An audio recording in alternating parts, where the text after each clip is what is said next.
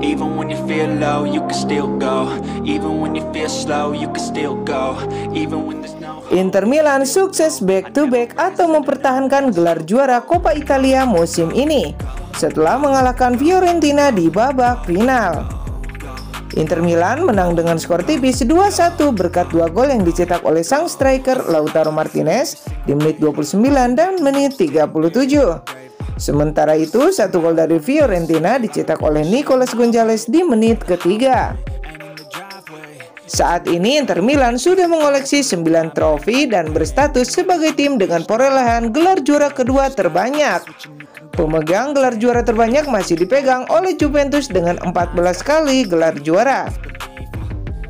Kemenangan di final Coppa Italia ini menjadi modal yang berharga untuk menghadapi Manchester City di final Liga Champions.